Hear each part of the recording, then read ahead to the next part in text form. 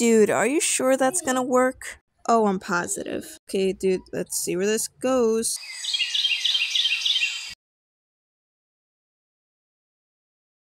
Hi there. May I help you? Oh, you're that guy who wanted to help my twin. Sorry for yelling at you, but I know what I'm doing when it comes to either one of me or my twin getting injured. And I don't like it when others get involved, and we don't need any help.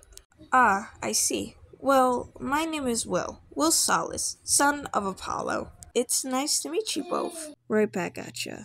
And don't ask who is our godly parent, because we don't know.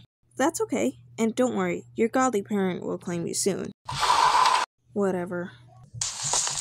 Hey, wait. I was wondering if we could get to know each other. And why do you want to do that? Well, I was actually hoping that I could be your be our friend. Yeah, okay.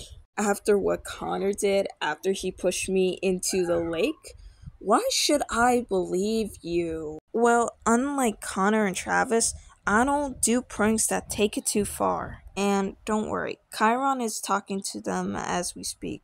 And I know that they didn't mean to make this prank too far. They're great, it's just that they're just annoying pranksters. Well, tell them don't hold their breath. So, does this mean that we're gonna be friends now?